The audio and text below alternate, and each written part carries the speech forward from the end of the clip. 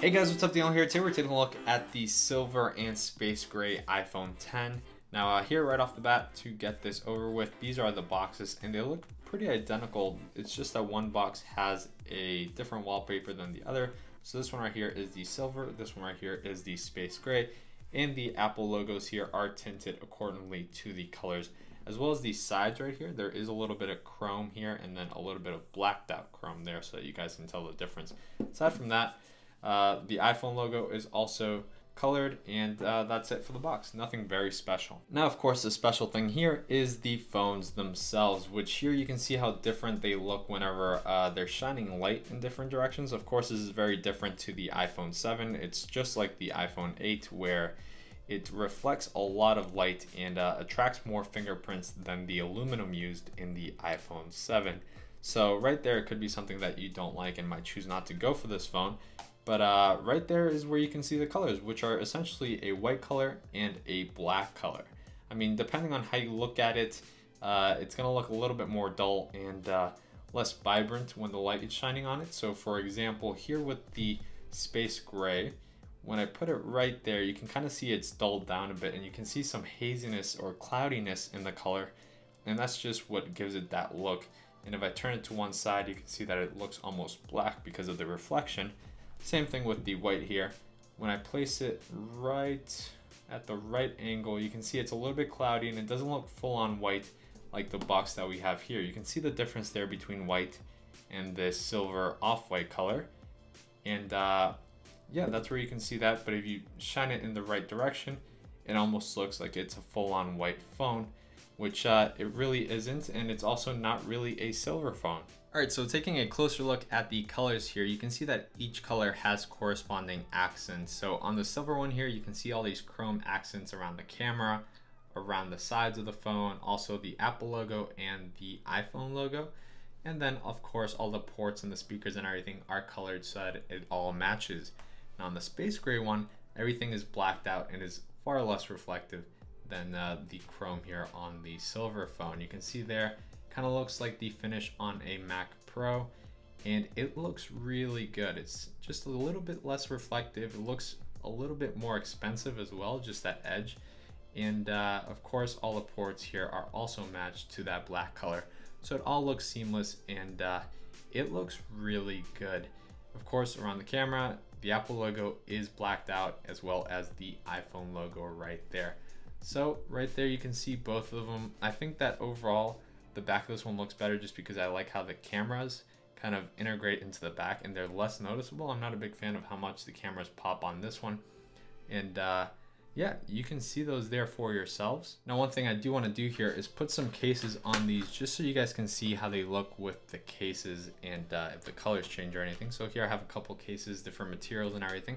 So uh, here's a see-through case real quick so you can see how that looks right there. And uh, you, know, you can still see all of the phone with this and it just kind of uh, dulls the color down a little bit because of the material of the case. So I definitely think that cases like this are gonna look better with the silver. I just don't like the way it makes the black look.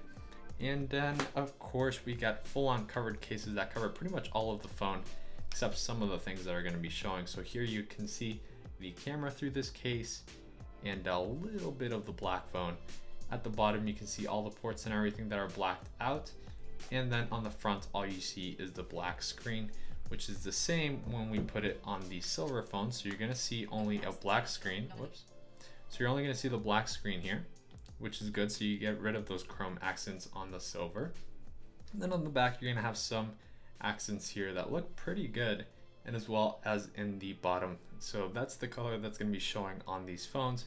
So depending on that, you know, you might choose a phone based on that. There's a little thing I do want to add here and that goes with smudges. So I'm just gonna rub my fingers like crazy all over the phone here.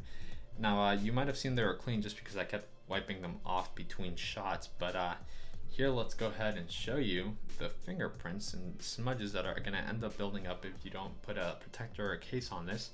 And uh, let's see here from an angle, try to show you guys. It's more noticeable in real life. It's really hard to get this to show any of the fingerprints, but there we go. You can see all the fingerprints there, all the smudges. And uh, let me put this phone here too. and you can kind of see them. Definitely not as noticeable as on the black phone, just because um, they reflect a little bit better on this phone, so you won't notice them that much.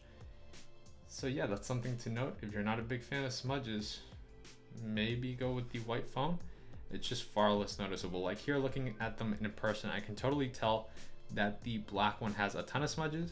And then on the white one, all I can see are some smudging around the uh, Apple logo, which is usually what tends to show the most smudging. So yeah, that's one of those points to keep in mind. Now I do want to try with this case on real quick, just so you can see a case that has a, a translucent back as well as like maybe some color on the side, so you can see that. And uh, you can see there with the black. Any case with the black phone is uh, gonna look a little bit odd because it's kind of getting rid of the nice color that the black has. Instead, it's gonna pop more with the white phone. So you can see right there, I feel like this case overall looks better on this phone just because you can see the actual phone more. Instead with this, it kind of dulls it out and you can't really see the whole design of the back just because the dark color is so dull. But uh, yeah, that's something to note with the cases. And uh, now I'm going to show you some b-roll of the phones outside and different places so you guys can see how they look under different lighting conditions and not just here with studio lighting. And uh, yeah, you can see there for yourselves. This is mostly a video to show you guys how the phones look. I mean, at the end of the day, what I say doesn't really matter as far as um, you know making your decision. Just what you guys like, just go with that, and you're gonna really enjoy the devices. And of course, one of the complaints that I've had every year is that Apple releases the white fronts, and the white fronts have those borders around it. That complaint is now finally gone, and we only have black fronts. So the fronts don't matter anymore. You can choose based on the accents and the colors in the back. Now, of course, this is a first world problem, but I mean, you're gonna end up paying so much money for these phones. You wanna make sure that you get the right color. With that said, guys, thank you for watching this video. If you have any questions, feel free to comment down below and I'll get back to you as soon as I can. And uh, you can also reach out to me on Twitter at RMRDNL or at DarGadgetZ and I'll get back to you there. But uh, yeah, guys, thanks for watching, and I'll catch you guys in the next video. Goodbye.